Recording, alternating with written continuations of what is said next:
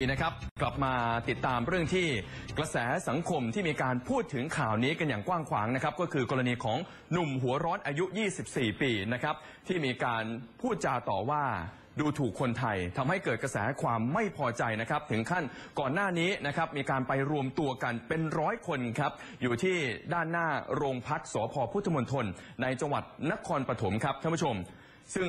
แม้ว่าคดีนี้นะครับจริง ๆ แล้วเกิดขึ้นเพียงแค่เป็นกรณีอุบัติเหตุรถเฉียวชนกันเท่านั้น แต่ว่ามันกลายเป็นประเด็นที่มีการวิพากษ์วิจารณ์ โดยเฉพาะเรื่องของกรณีข่าวลือ ข่าวลวง แล้วก็มีการสร้างกระแสการโจมตีต่างๆ นานาครับ วันนี้เปิดประเด็นของเรา เรามุ่งเน้นในเรื่องของการเสพสื่ออย่างสร้างสรรค์ครับ แต่ว่าก่อนที่เราจะไปดู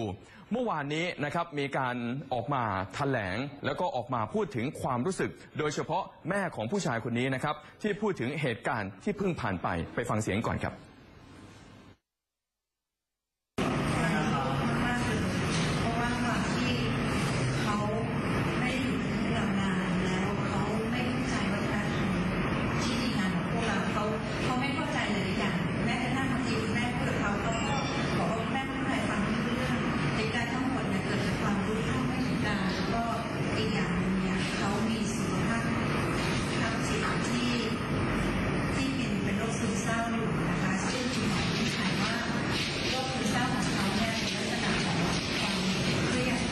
ความเครียดเนี่ยถ้าถ้าไม่เป็นแนวซึมฆ่าตัวตายก็จะเป็นแนวอิจฉาโวยวายทีนี้เนี่ยเหตุที่มันมันรุนแรงก็อาจจะสืบเนื่องมาจากว่า เมื่อคืนเราเตรียมของที่จะไปวัดสำหรับเช้าวันนี้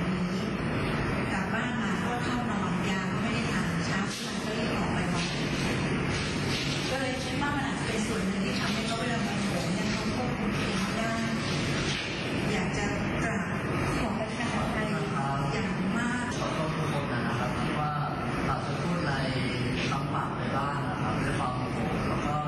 ด้วยความที่เป็นคนรักรถนะครับบางทีพอเราเห็นว่ารถเสียหายแล้วเราก็เกิดความหงุดหงิดแล้วก็ด้วยอาการที่เป็นอยู่เราก็เลยทำให้อาจจะดูรุนแรงกว่าเหตุการณ์ปกติที่พบเจอได้ในสังคมนะครับขอโทษด้วยนะครับ นี่เป็นการออกมาขอโทษนะครับ แล้วก็พูดถึงเหตุการณ์ทั้งหมด จากทางฝั่งคุณแม่ แล้วก็หนุ่มหัวร้อนรายนี้นะครับท่านผู้ชมครับ หลังจากที่พูดจาด้วยถ้อยคำที่ไม่เหมาะสม จนกลายเป็นข่าวที่มีคนพูดถึงทั้งประเทศนะครับ โดยตัวคุณแม่เนี่ยชี้แจงแทนลูกชายนะครับว่าลูกชายเนี่ยไปอยู่ต่างประเทศไปอยู่ที่ฝรั่งเศสตั้งแต่อายุ 6 ขวบเพิ่งมีโอกาสกลับมาเมืองไทยแค่เพียงกว่าๆปีกว่าๆเท่านั้นเอง ซึ่งอาจจะทำให้เป็นเหตุผลที่ไม่เข้าใจวัฒนธรรมที่ดีงามของคนไทย ซึ่งทางครอบครัวเองที่ผ่านมาก็พยายามจะพูดคุยทำความเข้าใจมาโดยตลอด อาจจะเป็นเพราะว่าความรู้เท่าไม่ถึงการ แล้วก็ที่สำคัญก็คือบอกว่าลูกชายเนี่ยป่วยเป็นโรคซึมเศร้า ซึ่งอาการหลักๆ จะมีอยู่ด้วยกันสองแบบก็คือ ซึมจนอาจจะนำไปสู่การฆ่าตัวตายก็ได้ นี่คือสิ่งที่คุณหมอบอก แต่ว่าลูกชายของตัวเองเนี่ยเป็นลักษณะคือเอะอะโวยวายคืนก่อนที่เกิดเหตุนะครับครอบครัวเนี่ยเตรียมของที่จะไปที่วัด คืนวันนั้นก็กลับมาที่บ้านแล้วก็นอนทันที โดยที่ลูกเนี่ยไม่ได้ทานยา จนกระทั่งไปเกิดเหตุรถเฉียวชนกันขึ้นที่ถนนอักษะย่านพุทธมณฑลนะครับ จนอาจจะทำให้ลูกชายเนี่ยควบคุมตัวเองไม่ได้ แล้วก็มีพฤติกรรมอย่างที่เห็น ขณะที่ตัวหนุ่มหัวร้อนเองนะครับ ก็บอกว่าอยากจะขอโทษทุกคนที่อาจจะพูดอะไรแบบพลั้งปากด้วยความโมโห แล้วก็รถของตัวเองเนี่ยเป็นรถป้ายแดง อยออกมาได้แค่ไม่กี่เดือน พอรถถูกเฉียวชนเสียหายก็เลยหงุดหงิด ประกอบกับอาการป่วยที่เป็นอยู่ก็เลยแสดงออกมารุนแรงมากกว่าคนทั่วไป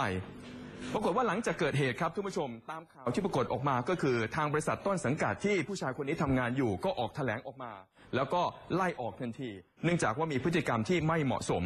ซึ่งทางคดีนะครับตำรวจมีการดำเนินคดีในความผิดฐานดูหมิ่นผู้อื่น ซึ่งหน้า โทษก็คือจำคุกไม่เกิน 1 เดือน ปรับไม่เกิน 1 0,000 บาท หรือทั้งจำทั้งปรับ แต่ว่าอีกด้านหนึ่งครับ ทางสหพันธ์คนไทยปกป้องสถาบัน ก็ไปแจ้งความดำเนินคดีแล้วที่กองปราบปราม เพื่อที่ไอ้ให้เอาผิดเพิ่มเติม ตามมาตรา 112 และข้อหาหมิ่นประมาทคนไทย ปรากฏว่าหลังจากที่ คลิปปรากฏออกไปนะครับก็ถูกส่งต่อไปอย่างรวดเร็ว มีการแชร์ต่อไปอย่างกว้างขวาง ทั้งข่าวลือบ้าง ข่าวลวงบ้าง ข่าวจริงบ้างนะครับแต่มันปรากฏว่ามันส่งต่อไปอย่างรวดเร็ว จนทำให้ขาดการตรวจสอบข้อมูลที่ถูกต้อง มีการเข้าไปขุดคุย แล้วก็เปิดเผยข้อมูลบางส่วนของผู้ชายคนนี้ แล้วก็อ้างว่าเป็นลูกชายของเลขานุการโทของสถานเอกราชทูตแห่งหนึ่งในต่างประเทศ จนทำให้ทางสถานเอกราชทูตณกรุงเฮลซิงกิ ประเทศฟินแลนด์ ต้องออกมาชี้แจงในเรื่องนี้นะครับว่าไม่เป็นความจริง แล้วก็ไม่มีส่วนเกี่ยวข้องกับบุคคลที่เป็นข่าว นี่เป็นตัวอย่างหนึ่งครับ ขณะเดียวกันอีกหนึ่งตัวอย่างก็คือ ญาติและครอบครัวที่ไม่เกี่ยวข้องอะไรเลยกับผู้ชายคนนี้ ก็ถูกกระแสสังคม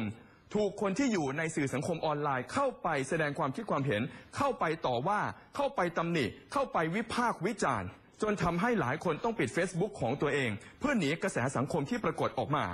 แม้แต่วันที่มีการสอบปากคำหนุ่มหัวร้อนนะครับ พ่อแม่แม้แต่กระทั่งแฟนก็พยายามที่จะหลบ พยายามที่จะรีบขึ้นรถเพื่อความปลอดภัยของตัวเอง เพราะว่าคนไปรวมตัวกันอยู่เยอะที่หน้าโรงพักพุทธมณฑลหลายคนอยู่ในอาการโกรธแค้นไม่พอใจทางครอบครัวเอง ซึ่งจริงๆ แล้วก็ไม่ได้อยู่ในเหตุการณ์นะครับ แล้วก็ตัวแฟนสาวเองก็พยายามจะเข้าไปห้ามแล้ว แต่ก็ปรากฏว่าก็ได้รับอานิสงส์เรื่องนี้ไปพร้อม ๆ กันครับท่านผู้ชม กลัวว่าไม่ปลอดภัยก็ต้องรีบขึ้นรถออกจากโรงพักทันที หลายคนนะครับมีการตั้งประเด็นว่าการเสพสื่อของประชาชนทุกวันนี้ มีการคัดกรอง มีการใช้สติในการรับรู้ข้อมูลข่าวสารมากเพียงพอหรือไม่ เพราะว่ามันมีหลายข่าวครับที่ถูกปล่อยออกไป โดยขาดการตรวจสอบ แล้วก็กลายเป็นประเด็นลุกลามบานปลายออกไป จนทำให้นำไปสู่การเสียชื่อเสียง และการสร้างผลกระทบ โดยเฉพาะความรู้สึกทางจิตใจของครอบครัวของเพื่อนที่อาจจะไม่ได้มีส่วนเกี่ยวข้องกับเหตุการณ์ที่เกิดขึ้นมาเลยนะครับ เนื่องจากว่าปัญหาในการนำเสนอข่าวสารในยุคดิจิทัลแบบนี้นะครับทุกวันนี้คนสามารถเข้าไปค้นหาข้อมูลได้มากขึ้น แต่ความรวดเร็วและก็ความหลากหลายของข้อมูล มันส่งผลทำให้เกิดการบิดเบือน กลายเป็นข่าวลือ ข่าวลวง ข่าวอ้างที่ไม่สามารถตรวจสอบแหล่งที่มาได้บางคนก็มีการตั้งคำถาม และนำไปสู่การตั้งละเมิดสิทธิส่วนบุคคล โดยไม่ได้ผ่านการคัดกรอง หรือขาดการอ้างอิงที่ถูกต้อง และอย่างที่บอกท่านผู้ชมไปครับ พอใครๆสามารถเข้าถึงแหล่งข้อมูล และรายงานเหตุการณ์ที่เกิดขึ้นได้ อาจจะนำไปสู่การนำเสนอข่าวที่ใส่ความเห็นส่วนตัวลงไป นี่คือเป็นสิ่งที่สื่อมวลชนนะครับ พยายามที่จะย้ำมาโดยตลอดว่า การนำเสนอข้อมูลข่าวสารอะไรก็แล้วแต่ หลักการที่ถูกต้องถือว่าเป็นสิ่งสำคัญ และไม่ควรใส่ความคิดความเห็นลงไป แต่ทุกวันนี้ใครๆก็เป็นสื่อได้ และพอนำเสนอข่าวออกไป อย่างที่บอกครับ เราในฐานะคนที่เสพข่าว เสพข้อมูล ต้องมีการตรวจสอบ ต้องมีสติ แล้วก็ใช้สื่ออย่างสร้างสรรค์